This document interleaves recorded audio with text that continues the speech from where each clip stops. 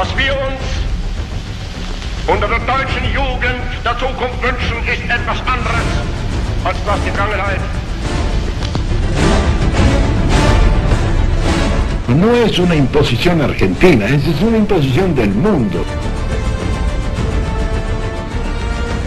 Stundenlang vertieft sich Hitler in die zum Scheitern verurteilten Pläne.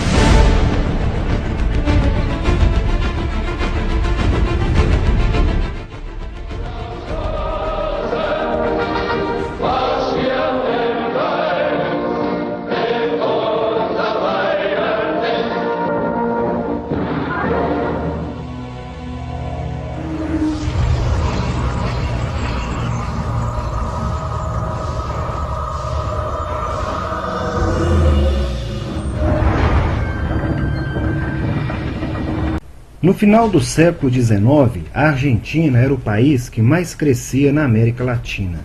Buenos Aires já contava com mais de um milhão e meio de habitantes.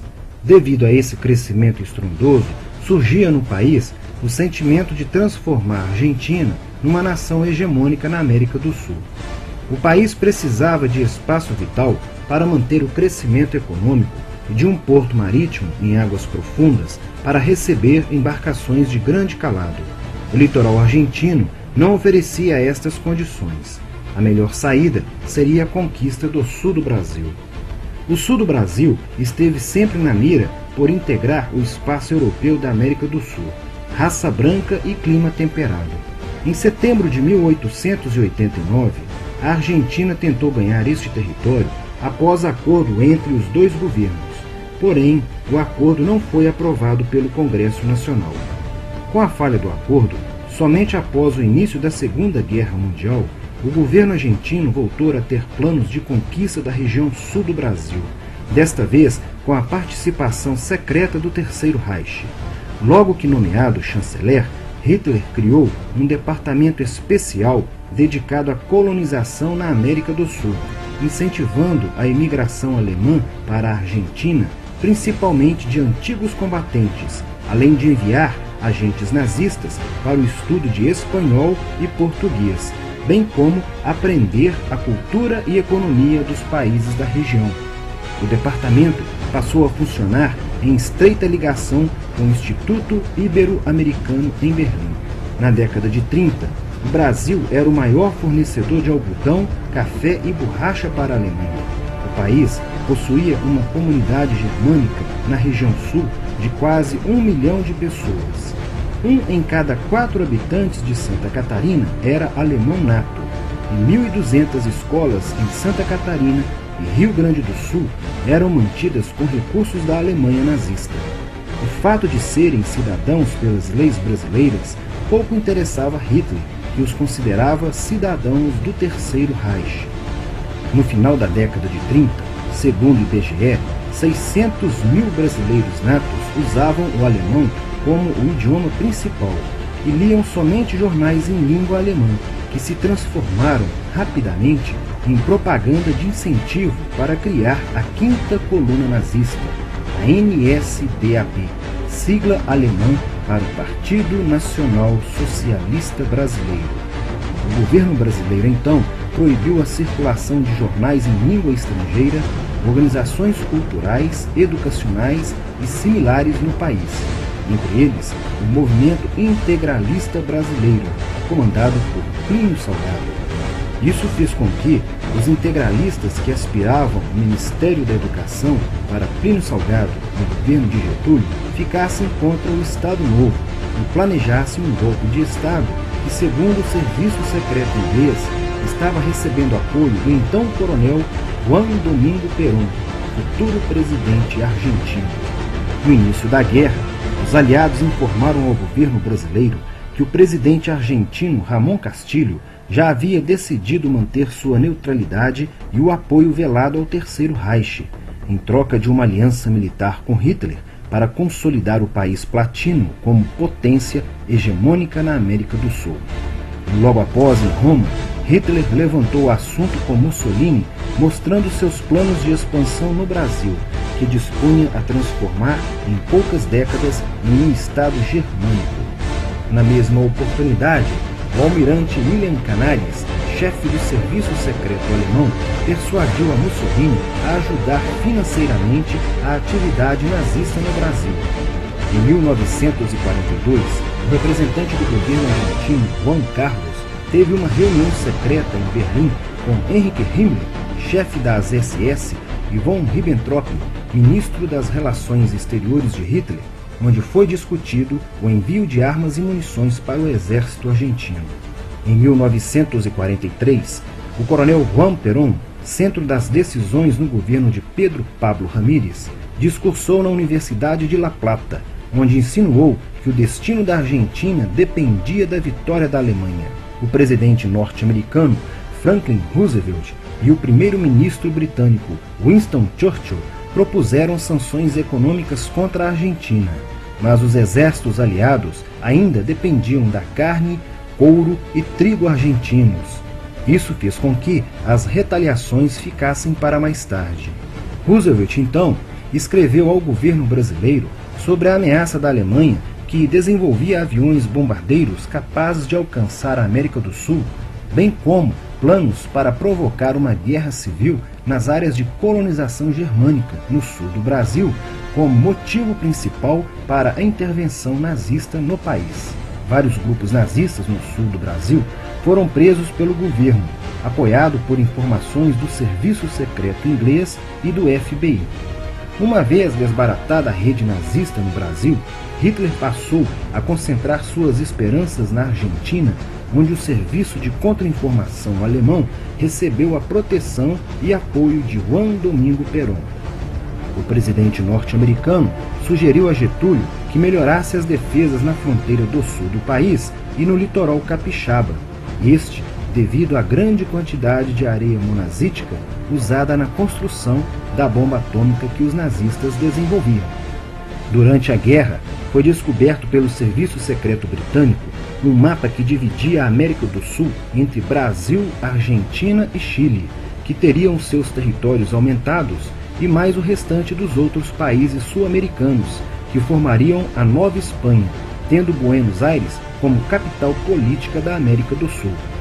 Os nazistas alegaram que o mapa havia sido forjado pelo serviço secreto inglês. A ameaça de desembarque alemão no continente sul-americano incomodava os aliados, que eram dependentes de materiais estratégicos vindos do continente, bem como impediria os Estados Unidos de participarem da guerra na Europa. Essa ameaça só foi desfeita após os aliados vencerem os nazistas na África do Norte e se estabelecerem no continente africano. Em abril de 1945, a Argentina se viu forçada a declarar guerra ao eixo. Após o final da guerra, Estados Unidos, Inglaterra e União Soviética impediram a Argentina de fazer parte da ONU. Mais tarde, os países latino-americanos intercederam a favor da Argentina, que após muitas negociações passou a integrar a Organização das Nações Unidas. Porém, o presidente Juan Perón nos anos posteriores, levaria o país a escrever a sua mais sombria história, após dar refúgio a vários membros do Partido Nazista Alemão com o propósito de implantar na Argentina o Quarto Reich.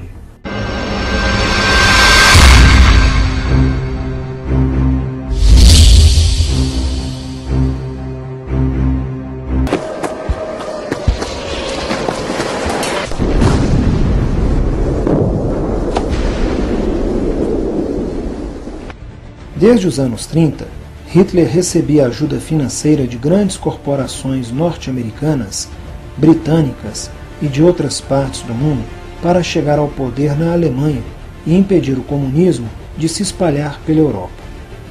Essas mesmas corporações acreditavam que iriam controlar Hitler depois de eleito. A ajuda também visava a recuperação econômica e a reconstrução do país germânico após a derrota na Primeira Guerra Mundial, através da implantação de indústrias dos Estados Unidos e da Inglaterra. Essa recuperação, erroneamente atribuída a Hitler, fez dele destaque na imprensa norte-americana em 1938. Em 1 de setembro de 1939, Hitler contrariou os seus antigos investidores e invadiu a Polônia, dando início à Segunda Guerra Mundial. No dia 10 de maio de 1940, Hitler lança sua ofensiva ocidental numa campanha onde os alemães conquistariam uma das maiores vitórias na história das guerras. Com uma concentração de tanques até então jamais vista, juntamente com o primeiro ataque aéreo mundial em larga escala, aliado a táticas revolucionárias, os alemães conquistariam a Bélgica, Holanda e França, além de impor à Inglaterra sua maior humilhação. A campanha alemã tornaria Hitler o senhor da Europa e daria ao seu exército a reputação de invencível, levando a guerra para a Rússia, onde após sofrer as derrotas em Stalingrado e Kursk, o exército alemão passou a lutar na defensiva. No dia 20 de abril de 1945, Berlim estava sitiada e os soviéticos avançavam rumo ao centro da capital, com a missão de capturar Hitler, vivo ou morto.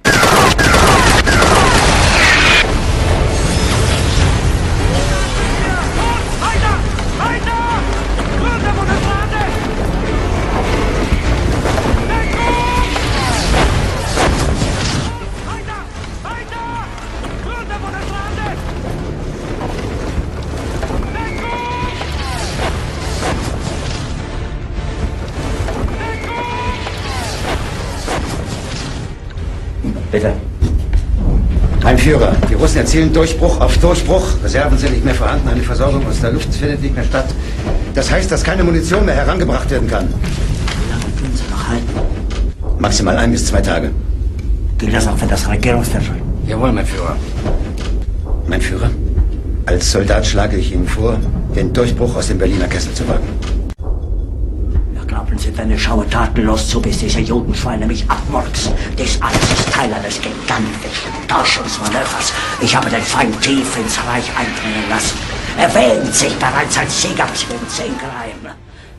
Nos últimos meses da guerra, em abril de 1945, com os russos invadindo Berlim, o general alemão Reinhard Göhlen, a pedido de Hitler, entra em contato com o Supremo Comando Aliado e propõe um acordo.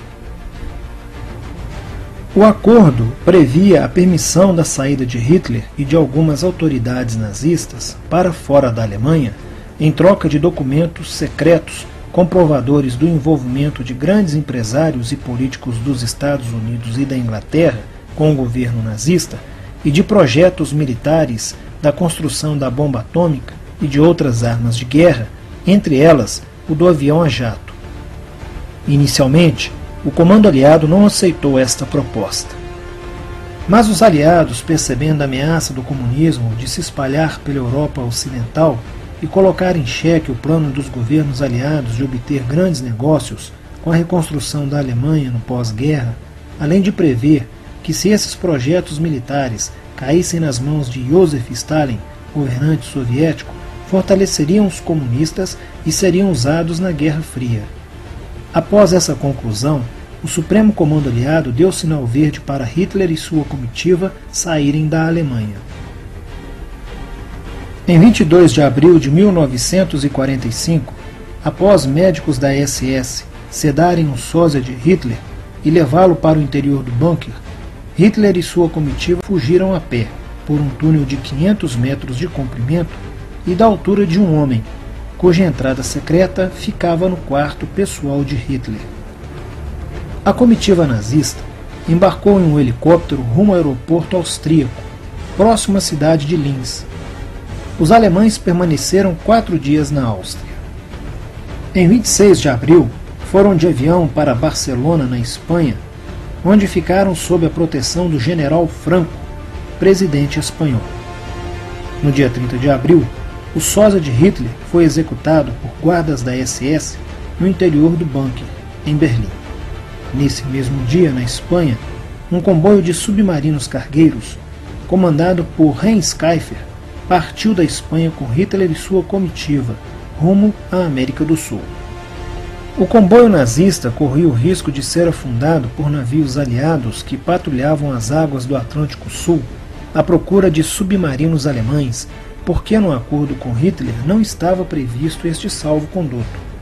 No dia seguinte, oficiais alemães anunciaram a morte de Hitler, 24 horas depois, os russos invadiram o bunker. No dia 2 de maio de 1945, os soviéticos encontram o suposto corpo de Hitler enterrado em uma cova rasa nos fundos do bunker.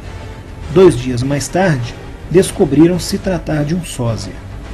Joseph Stalin, em julho de 1945, na reunião de Potsdam, disse aos líderes aliados que Hitler havia fugido de Berlim.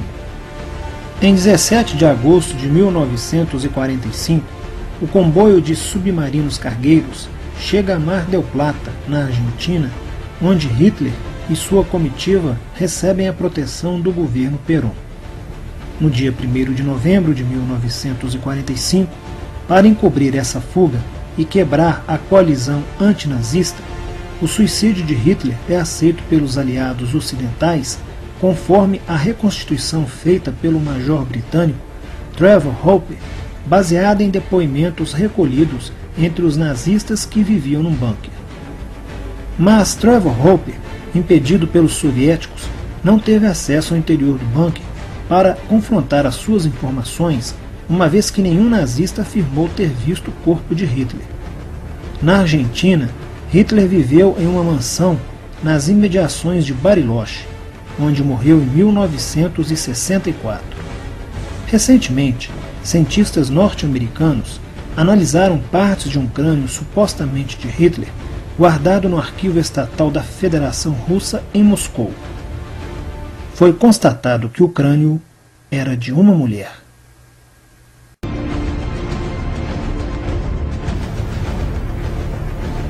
No desenrolar da Segunda Guerra Mundial, a Argentina planejava secretamente com Hitler a invasão do sul do Brasil e os Estados Unidos arquitetavam um plano para a conquista do norte e nordeste brasileiros para assegurar bases estratégicas que ajudariam os aliados a invadirem o norte da África e protegerem os navios mercantes dos ataques de submarinos alemães. Getúlio Vargas sabia disso e, diante dessa situação, deu um golpe de mestre após concordar em ceder as bases brasileiras que os Estados Unidos queriam. O Brasil recebeu em troca a instalação de indústrias siderúrgicas. Esta decisão também impediu os Estados Unidos de darem continuidade ao plano de invasão do Brasil, além de acalmar os ânimos argentinos de conquista da região sul do país. A partir de janeiro de 1942, os navios brasileiros passaram a ser bombardeados por submarinos nazistas para impedir que os suprimentos exportados pelo Brasil chegassem ao Reino Unido. Sete meses depois, o país declara guerra às potências do eixo e se mobiliza para o envio de tropas à Europa. Estava se formando a Força Expedicionária Brasileira.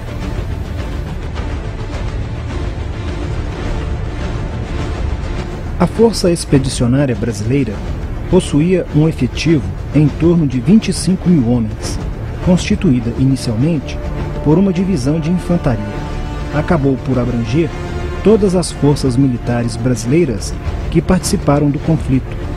Adotou como lema a cobra fumou em função das declarações de Hitler, afirmando que seria mais fácil uma cobra fumar do que o Brasil entrar na guerra. Em 2 de julho de 1944, teve início o transporte do primeiro escalão da Força Expedicionária Brasileira sob o comando do general João Batista Mascarenhas de Moraes, com destino a Nápoles, na Itália. Enquanto isso, Hitler fortalecia as suas forças no norte da Itália com tropas de elite do exército alemão. Na Itália, a FEB foi incorporada ao 5 Exército dos Estados Unidos, comandado pelo general Mark Clark. Devido à grande semelhança entre o fardamento da FEB e o do exército alemão, o fardamento dos soldados brasileiros foi substituído pelo do exército dos Estados Unidos, causando grande semelhança entre soldados brasileiros e soldados norte-americanos. O exército brasileiro entrou em combate em meados de setembro de 1944, conquistando importantes vitórias ao enfrentar o exército alemão, sob temperaturas de até 20 graus negativos, infringindo pesadas baixas aos soldados de Hitler.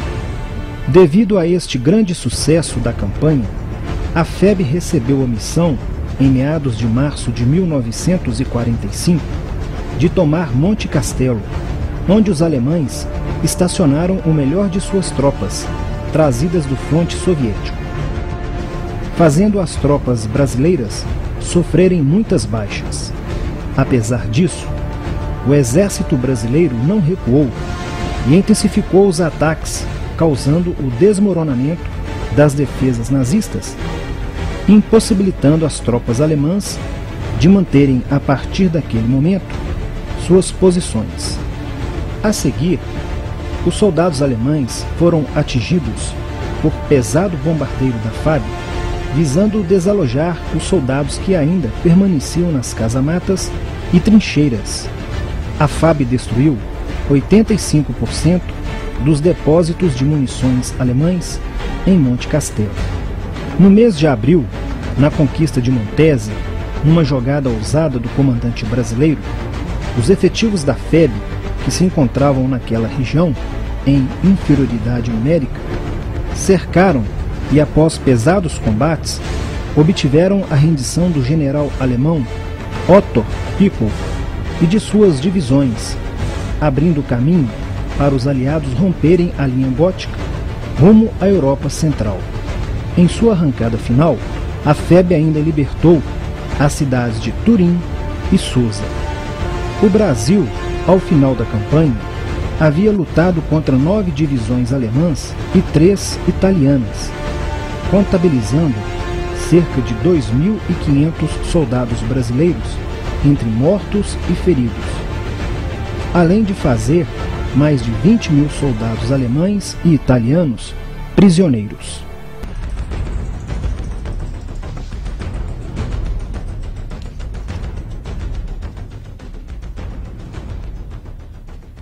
Após a destruição da Alemanha com a derrota de Hitler no final da Segunda Guerra Mundial, vários cientistas nazistas fugiram para a Argentina para dar continuidade ao programa nazista de desenvolvimento da bomba atômica. Diante dessa situação, o governo brasileiro passou a acompanhar os progressos internacionais no setor nuclear e iniciou a produção de urânio metálico na década de 50, estabelecendo os primeiros passos para a criação de um centro espacial brasileiro no governo de Jânio Quadros. No final dos anos 60, durante o governo militar, este centro passou a se chamar Instituto Nacional de Pesquisas Espaciais, cujo objetivo era de projetar um foguete lançador de satélites. Em meados da década de 70, quando o Brasil comprou sua primeira usina nuclear da Alemanha, sob o governo do presidente Geisel, o Clube Atômico, liderado pelos Estados Unidos, bloqueou ao país o acesso à tecnologia do combustível nuclear e o Brasil teve de montar um programa próprio, liderado pelo general Golbery do Couto e Silva, criando um complexo de pesquisa tecnológica para desenvolver e controlar todo o processo de enriquecimento do urânio. No início dos anos 80, sob o governo de João Figueiredo, o país passou a ter o completo conhecimento do processo de enriquecimento do urânio, mas esta informação ficou em sigilo até a presidência de José Sarney, quando foram descobertas várias perfurações com um metro e meio de largura por 320 metros de profundidade, revestidas de cimento numa base isolada da aeronáutica, na Serra do Cachimbo, no sul do Pará. Essas perfurações eram semelhantes às existentes nos Estados Unidos para testes nucleares subterrâneos. Diante dessa informação, a ONU e os Estados Unidos pressionaram o presidente Fernando Collor a encerrar o programa nuclear brasileiro. Isso fez com que esses buracos fossem tapados e a maior parte da base desativada. Na década de 90, iniciou-se um rastreamento através da Comissão Nacional de Energia Nuclear em todo o país à procura de material nuclear para fins bélicos sendo encontradas peças de um disparador e partes de uma esfera que formariam um suposto artefato nuclear, além de estoques de urânio enriquecido dentro de um container, numa área ocupada pelo Instituto de Pesquisas Energéticas e Nucleares, na USP. Os indícios indicavam que o Brasil estava perto de produzir sua primeira bomba atômica. Enquanto isso, a Marinha desenvolvia o submarino nuclear no centro de Aramar, com tecnologia nacional, fazendo com que o projeto da ultracentrífuga, peça essencial do submarino, fosse desenvolvida com uma tecnologia de ponta, a baixo custo e com melhor rendimento, fato que despertou a cobiça internacional e desencadeou uma ação combinada entre executivos do governo norte-americano e técnicos da Agência Internacional de Energia Atômica para forçar o Brasil a relatar à ONU o método usado na construção de suas ultracentrífugas, cujo projeto é de autoria do contra-almirante Otton Pinheiro da Silva. Ao mesmo tempo que a Marinha desenvolvia o seu submarino nuclear, a Força Aérea Brasileira se preparava na base de Alcântara para o primeiro lançamento do foguete brasileiro lançador de satélites. Mas no momento do lançamento, suspeita-se que um avião radar dos Estados Unidos teria invadido o espaço aéreo brasileiro, próximo à base, e emitido uma interferência eletrônica que derrubou o foguete VLS-1. Imediatamente, caças da FAB tentaram interceptá-lo, mas o avião norte-americano não foi localizado. O segundo lançamento do VLS também não deu certo. Explodiu poucos segundos após a decolagem. Tempo depois, após investigação da Agência Brasileira de Informação, foram encontrados em boias nas praias que cercam o centro de lançamentos de Alcântara, vários equipamentos de telemetria que podem captar, processar e enviar dados via satélite para qualquer base militar do mundo. Em 2003, no primeiro mandato do presidente Lula, às vésperas de mais um lançamento, o foguete VLS-3 explodiu três dias antes com os motores desligados, quando estava sendo preparado na base de Alcântara, no Maranhão, matando 21 funcionários. Os militares envolvidos nas investigações vasculharam os hotéis de São Luís, no Maranhão, e ficaram surpresos com o elevado número de norte-americanos hospedados na cidade na semana da catástrofe, que logo após desapareceram. Após a descoberta de enormes reservas de petróleo no pré-sal, em águas territoriais brasileiras, os Estados Unidos reativaram a quarta frota, com 11 navios de guerra que passaram a patrulhar as águas do Atlântico Sul, próximas ao litoral brasileiro. Do ponto de vista bélico, o fato do governo brasileiro fazer acordos com países que dominam a tecnologia espacial, aprovar a liberação de verbas para a construção do submarino nuclear e incentivar o programa nuclear brasileiro, aliado com o fato do país dominar todo o processo de enriquecimento do urânio, suficiente para produzir 60 ogivas nucleares nos próximos oito anos, incomoda, pois um foguete brasileiro, partindo de Alcântara para colocar um satélite em órbita, pode, com pequenas modificações, transportar uma ogiva nuclear e acertar qualquer cidade do mundo. Além do mais, a Marinha Brasileira, com vários submarinos nucleares, seria uma ameaça em potencial para qualquer frota naval do mundo, principalmente no Atlântico Sul, em águas brasileiras, onde há as maiores reservas de petróleo no pré-sal do planeta.